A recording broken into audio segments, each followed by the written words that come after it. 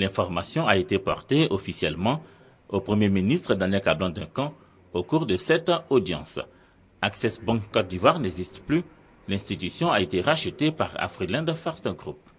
Paul Maforikan, le président de Afriland First Group, était chez le Premier ministre pour marquer la reconnaissance de l'acquéreur de Access Bank Côte d'Ivoire aux autorités ivoiriennes.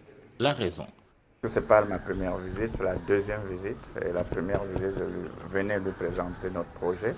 Aujourd'hui, le projet devient une réalité.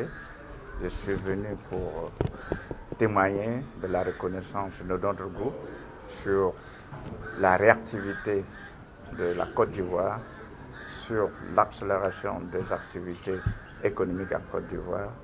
Afriland First Group, désormais installé en Côte d'Ivoire, est l'une des principales banques de l'Afrique centrale. Elle compte des succursales dans une dizaine de pays.